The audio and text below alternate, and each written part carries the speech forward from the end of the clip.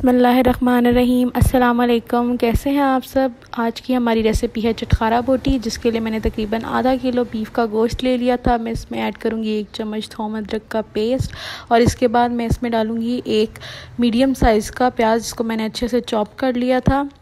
और अगर आपको मेरी ये रेसिपी अच्छी लगे तो प्लीज़ मेरे चैनल को लाइक करें सब्सक्राइब करें शेयर करें मेरे कमेंट सेक्शन में मुझे बताएँ कि आपको मेरी रेसिपी कैसी लगी और आपने ट्राई किया नहीं। अब मैं यहाँ डाल रही हूँ एक चम्मच काली मिर्च की। और वन टेबल स्पून मैंने डाला है इसमें नमक और इसके अलावा बिल्कुल हाफ़ टेबल स्पून में इसमें ज़ीरा डाला है। अगर आपके पास ज़ीरा पाउडर है तो आप वो भी डाल सकते हैं। और एक टेबल स्पून इसमें जाएगी लाल मिर्च की और आधी टेबल स्पून इसमें जाएगी गर्म मसाले पाउडर की। और इसके अलावा मैं इसमें ऐड करूँगी विनेगर विनेगर का सिर्फ़ मैं एक ढकना डालूँगी। अगर आपके पास विनेगर नहीं है तो आप इसकी जगह एक लीमू भी डाल सकते हैं। और सिर्फ़ एक ही डालिएगा और विनेगर का भी सिर्फ़ एक ढकना डालिएगा। और अब मैं इसके बाद इसको अच्छे से मिक्स करूँगी।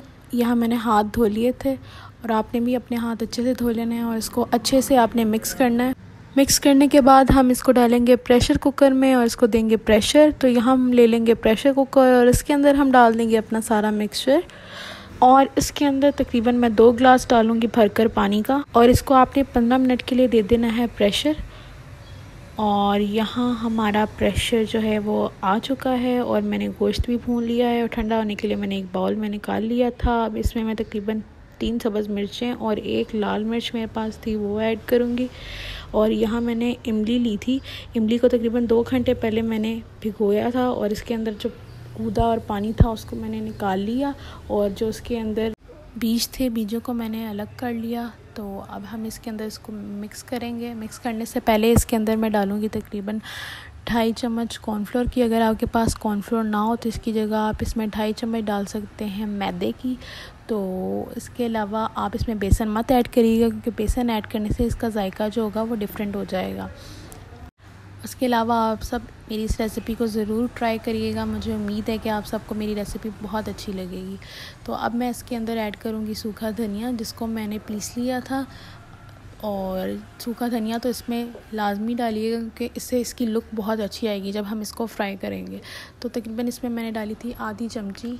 ये मैंने भर ज़्यादा ली थी, लेकिन मैंने आधी चमची इसके अंदर डाली थी हल्दी की। यहाँ मैंने लिया फ्राइंग पैन फ्राइंग पैन के अंदर डाला मैंने ऑयल और अब मैं बारी बारी करके सारी बोटियों को डालूँगी इसके अंदर। और यहाँ मैंने डाल दी हैं सारी बोटियाँ इसके अंदर और अब ये फ्राई होंगे एक तरफ़ से, डार्क ब्राउन हो जाएँगे, फिर मैं इनकी साइड चेंज करूँगी। तो आप यहाँ देख रहे हैं कि ये डार्क ब्राउन हो चुके हैं और मैंने इसकी साइड भी चेंज कर दी और यहाँ मैंने आहिस्ता आहिस्ता सारे डाल दिए थे और ये सारे तकरीबन फ्राई हो चुके हैं। तो आप यहाँ देख सकते हैं कि हमारी बोटी किस कदर अच्छी गली है। आप मेरी इस रेसिपी को ज़रूर ट्राई करें और कमेंट सेशन में मुझे बताएँ, अगर आपने बनाई है तो ये कैसी बनी है। इंशाल्लाह आप सबकी भी बहुत अच्छी बनेगी, क्योंकि मेरी भी बहुत ही अच्छी और मज़े की बनी थी। तो चले, मिलते हैं फिर एक नई रेसिपी के साथ। अल्लाह हाफ़ अपना ख्याल रखिए और अगर आपने अभी तक मेरा चैनल सब्सक्राइब नहीं किया तो प्लीज़ सब्सक्राइब कर दें, लाइक करें, कमेंट करें, शेयर करें। Thank you, Allah half